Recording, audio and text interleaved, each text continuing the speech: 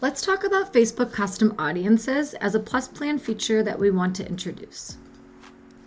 Facebook custom audiences really gives you the opportunity to truly meet contacts where they are at in your customer journey. Through automations, you're able to really target these individuals based on certain actions. Maybe they get a tag. Maybe they visit your website or subscribe to a list. You can even do it based off of lead scoring, like we just talked about.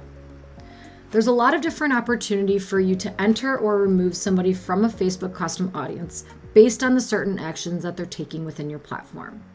We want to make sure that at first we set up the Facebook integration and then we can dive into automations to build it out.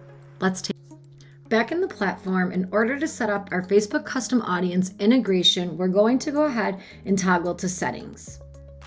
You have in your settings folder a specific folder for integrations. We'll dive into the integrations that we have connected here in just a minute, but in order to add our Facebook integration, we can go ahead, press connect, and it's going to take us straight to our Facebook page. We want to continue as our person, manage ads for our accounts, click done, and link ActiveCampaign to Facebook. Once we press OK, it's simply that easy. Our Facebook is now actually connected to this page. If we want to drop down, we can go ahead and select that specific person that we want our ads account to use, hit finish, and you'll see that now your Facebook will actually live as a connected app. We'll go ahead and press done. And now all you have to do is go to your automations and begin to manage that. So let's toggle over to automations and build an automation in which you would add somebody to a Facebook custom audience. We'll go ahead, create an automation, and we're going to build one from scratch. We'll start here. We'll press continue. And it'll ask us what we want our start trigger to be. What we can do for this example is use web page is visited.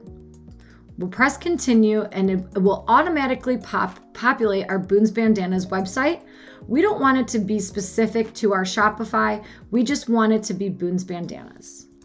We're gonna go ahead and add our asterisk for our wildcard and we only want this to run once, not every single time they visit boonsbandanas.com. We'll then press Add Start and we'll actually come to our Contacts folder.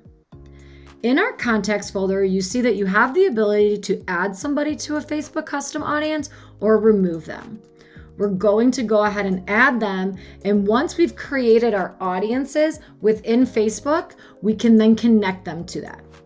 We can also, right from this page, connect a new audience or create one within Facebook as we start to build out our audiences, we'll be able to build out these steps within the platform and do just that.